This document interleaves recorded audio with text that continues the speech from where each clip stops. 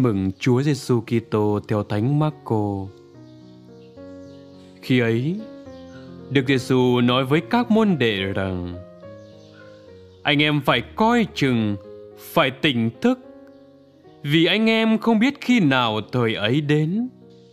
Cũng như người kia chạy phương xa để nhà lại trao quyền cho các đầy tớ của mình chỉ định cho mỗi người một việc và ra lệnh cho người giữ cửa phải canh thức. Vậy anh em phải canh thức, vì anh em không biết khi nào chủ nhà đến, lúc chập tối hay nửa đêm, lúc gà gáy hay tảng sáng. Anh em phải canh thức, kẻo lỡ ra ông chủ đến bất thần, bắt gặp anh em đang ngủ điều thầy nói với anh em đây, thầy cũng nói với hết thảy mọi người là phải canh thức.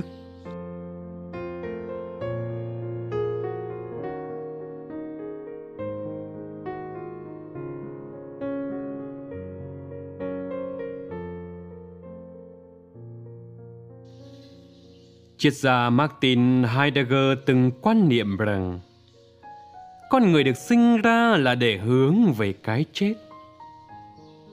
Điều đó có nghĩa là bước qua mỗi ngày sống, người ta tiến gần đến với cái chết. Nếu sống chỉ để chết, có lẽ cuộc đời này thật vô nghĩa. Vậy, chúng ta phải sống với thái độ nào để cuộc đời trở nên có ý nghĩa? Trong bài tin mừng hôm nay, Chúa Giêsu đã chỉ cho ta anh em phải coi chừng, phải tỉnh thức. Sự tỉnh thức là điều cần thiết đối với đời sống của người Kitô hữu. Tỉnh thức có nghĩa là biết chờ đợi Chúa đến bằng cách chú tâm thi hành những sứ vụ người giao phó như những người đầy tớ trong bài tin mừng hôm nay. Họ được ông chủ chỉ định cho mỗi người một việc trước lúc ông chạy đi phương xa. Sự tỉnh thức giúp người đầy tớ luôn trong trạng thái sẵn sàng. Và khi họ đã chuyên tâm để hoàn thành công việc được giao, họ sẽ chẳng có gì phải lo lắng họ sẵn sàng chờ đợi chủ mình trở về. Dù là lúc chập tối hay nửa đêm, lúc gà gáy hay tảng sáng. Quả vậy, là những người Kitô hữu, chúng ta sống trong thế gian với niềm mong đợi ngày ông chủ trở về. Nghĩa là ngày con người ngự đến trong vinh quang ngày triều đại thiên chúa tỏ hiện. Thế nhưng, cuộc sống hôm nay vẫn có những hấp lực nhất định.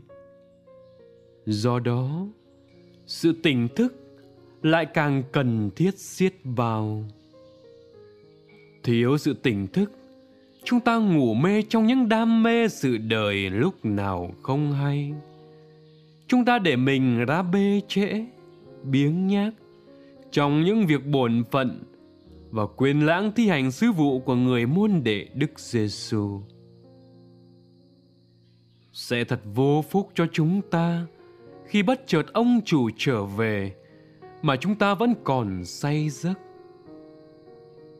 Thế nên, ngang qua tin mừng hôm nay, mỗi người hãy nỗ lực thi hành lời của Chúa.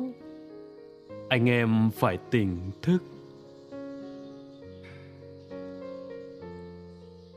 Lạy Chúa, xin cho chúng con luôn tỉnh thức và sẵn sàng. Nhờ đó có nhận ra cuộc đời này là món quà quý giá của Chúa và hân hoan đón đợi ngày Chúa ngự đến trong vinh quang. Amen.